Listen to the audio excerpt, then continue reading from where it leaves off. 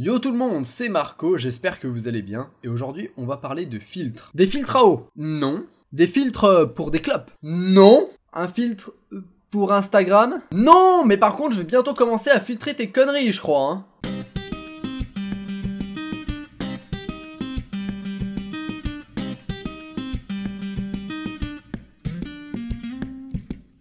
On va évidemment parler de filtres pour textures appelés bilinaires, trilinaires ou anisotropiques. C'est un type de filtre qu'on va retrouver in-game qui va permettre d'améliorer et d'augmenter la qualité des textures ou plutôt leur apparence. Quasiment toutes les surfaces que vous voyez en jeu sont recouvertes par ce qu'on appelle des textures. C'est ce qui permet à un arbre eh bien, de ressembler à un arbre plutôt qu'un espèce de vieux cylindre gris ou tout vert. C'est un des éléments essentiels qui permet de rendre le jeu plus réaliste. Par exemple, ceci est une théière sans texture, et ceci est une théière avec une texture à la con.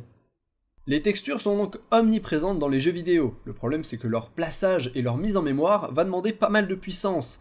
Et depuis les temps immémoriaux du jeu vidéo, les développeurs essayent de trouver des petites astuces et petites combines afin que les jeux impactent moins sur les performances, qu'ils soient plus fluides et surtout moins gourmands. Une des méthodes les plus anciennes et les plus communes consiste à rendre flou les textures qui sont plus loin. Ainsi, plus un objet sera loin, plus les textures appliquées à cet objet auront été floutées, ainsi réduisant la qualité, sauf que l'objet étant dans le lointain, le joueur ne peut pas faire la différence sur son écran. Cette méthode n'est pas la seule cause de flou et de dégradation des textures dans le lointain. Prenons par exemple cette route sur GTA V.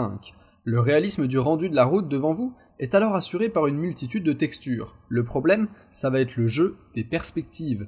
Les dimensions du pont et de la route ne sont pas les mêmes si vous regardez à vos pieds ou alors au loin. Et dans ce dernier cas, les textures auront alors moins de place pour s'exprimer. Le moteur graphique va donc devoir les retailler à grands coups de hache, histoire de les faire rentrer dans cet espace beaucoup plus restreint. Cette version basse définition de la texture sera appelée un mipmap. Ce faisant, le rendu des textures devrait logiquement perdre beaucoup en précision, d'où l'effet de flou quand on regarde au loin. Le problème en appliquant cette technique sans filtrage de texture, c'est qu'on va se retrouver avec des coupures très nettes entre les différents niveaux de flou.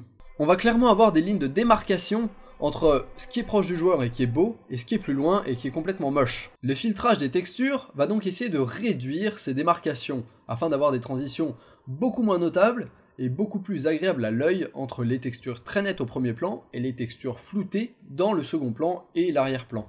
Et pour avoir des coupures moins nettes entre les différents niveaux de flou, le filtre va donc essayer de faire un flou beaucoup plus progressif et beaucoup plus moins marqué, afin que ce soit beaucoup plus joli à l'œil et beaucoup plus joli sur les écrans. Au final, grâce à ces techniques de filtrage, le jeu va pouvoir déterminer quels sont les pixels qu'il va pouvoir raboter, et quels sont les paramètres de couleur qu'il va falloir ajuster afin d'avoir un rendu nettement nettement amélioré.